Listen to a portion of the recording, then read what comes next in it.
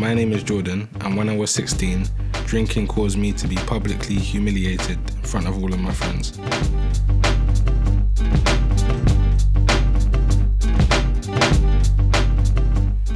I enjoy reading and writing poetry. I could be assertive, but sometimes stubborn. When I'm in my room, I don't have a TV, so I'm usually playing music. I'm very uh, inquisitive as well. Jordan lives in London. His experience with alcohol put his life at serious risk. Well, I was 16 and I was working at the time, and one of my friends was having a big party for his birthday, and I thought, uh, yeah, tonight I'm gonna get some brandy because I just got paid and that's what the big boys drink apparently. We went over to the shop and bought two bottles of brandy. We had every intention of getting drunk that night.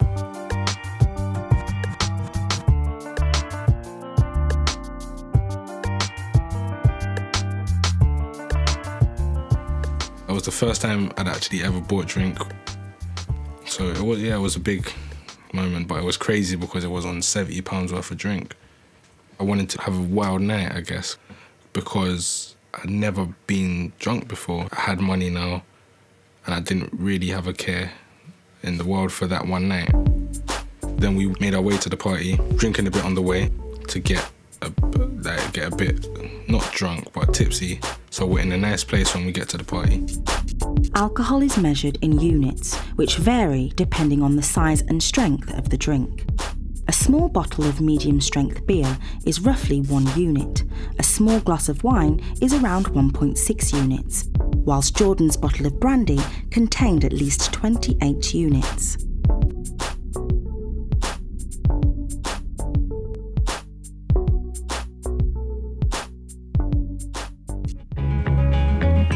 Got to the party with the two brandies and they were like, oh, they bought brandy. I wouldn't say we felt like kings, but we felt very we felt very like powerful, I guess. Thought, yeah, we're big guys now, so we sat at the table, put our bottles of brandy down. We didn't really think about pacing ourselves at all. Most of the time, I was swigging it from the bottle, and I didn't know how much I had been drinking, and I was drinking it like it's juice. We were just drinking, drinking, drinking. When you're drunk, you feel a bit more confident in yourself. So he was ordering people about, telling them to put on my music, telling them to go shop and get some more drink, telling them to get me some chicken and chips. I was having a really good time, and then I went to sit down, and I missed the chair, and I was like, oh. Oh, then my head started. It all happened in the space of about two minutes. My head started spinning. I felt sick. I was like, oh no, I've had. Looked at the bottle, it was empty. I was like, oh, oh no, I've had too much to drink. It's like everything you imagine it to be like when you're absolutely drunk off your face, and it's not a nice thing at all. It was a nightmare because the whole the whole party was just spinning around my head. As alcohol reaches the liver, it's broken down into water and carbon dioxide, which is expelled through sweat, urine, and breath.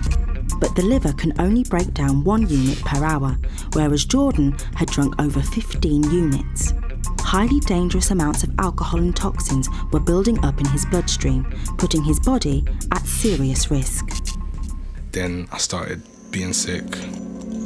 After I was sick for the first time, no one really knew what to do, to be honest. Everyone was just hanging around like, oh, Jordan's been sick. And I was just lying there. I remember people getting annoyed. I just wanted the ground to swallow me up. I just, I just wanted to be home and for it to all be over the friend I came with and another friend, they said, no, take him outside to the drive. So they've taken me out on the drive and I'm just lying on the floor. It was, uh, it was quite messy. I was like in my own sick bit. I was trying to fall asleep, I think, but I can't really remember. Alcohol irritates the stomach and can cause it to discharge or vomit its contents. Large amounts of alcohol can disrupt the gag reflex system triggered in the throat, which prevents sick entering the lungs. If the airways are blocked by vomit, breathing can become disrupted, leading to choking and even death. In this state, an individual should never be laid out on their back, left alone, or allowed to fall asleep. Medical advice should be sought immediately. No one knew what to do, so they just called my parents to come pick me up and I just felt humiliated. Throughout the night, you don't think about any of the medical effects. You just think about how fun it's gonna be when you get drunk. You don't think about any side effects of what could possibly... You don't think about possibly being sick. But back then, I was like, nah, it's never gonna happen.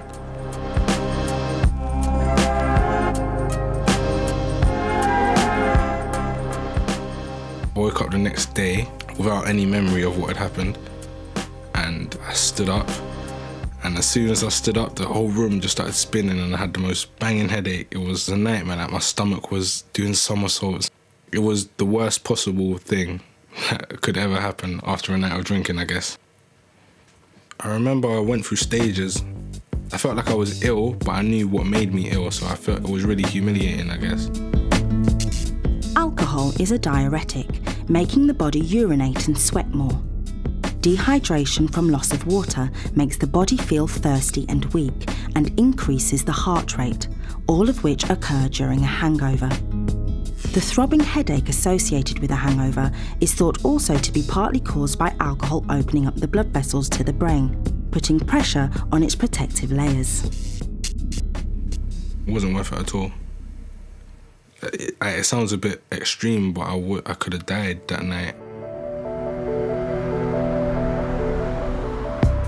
I didn't really realize until probably a few days later how serious it could have been. And it's something that you don't think about while you're drinking or even probably while you're being sick, but it can happen